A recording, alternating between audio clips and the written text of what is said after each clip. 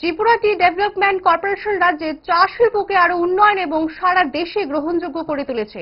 Tripureshwari premium চা এই নতুন নাম দিয়ে রাজ্যের চাকে আরও উন্নত এবং গুণমানের করে রাজ্যের বাজারে ছেড়েছে। শনিবার মহাকরণে আনুষ্ঠানিকভাবে এই চায়ের উদ্বোধন করেছেন মুখ্যমন্ত্রী ডক্টর মানিক সাহা।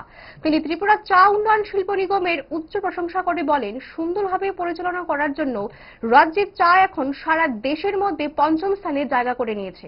চা শিল্প নিয়ে অনেক কথা আপনারা সবাই জেনেছেন জানেন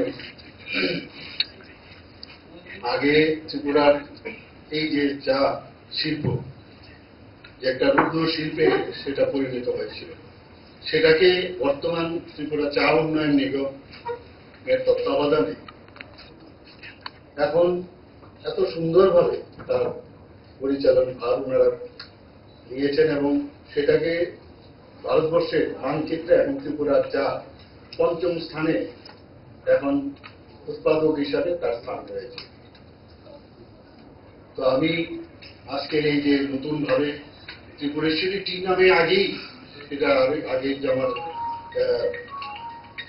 মুখ্যমন্ত্রী বিপ্লব কুমার দেব যে ছিলেন, ওনার সময়ও সেটা ত্রিপুরা টি চা হিসাবে এখানে এটাকে আপনাদের সামনে রেখেছিলেন।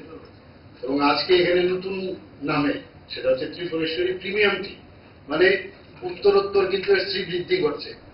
Saurabha Institute of Nursing Science, a part of Enlight Group of Institutions, offering courses like nursing and paramedical. Brilliant opportunity for SC, ST, OBC students from Tripura to study nursing and paramedical through government scholarship by paying only rupees 4000 for hostel fees. Bengali food available, no hidden fees, no extra fees for exam or uniform, 100% placement guarantee. Admissions are open now. Visit our website for online admissions or contact us at 80955 55703.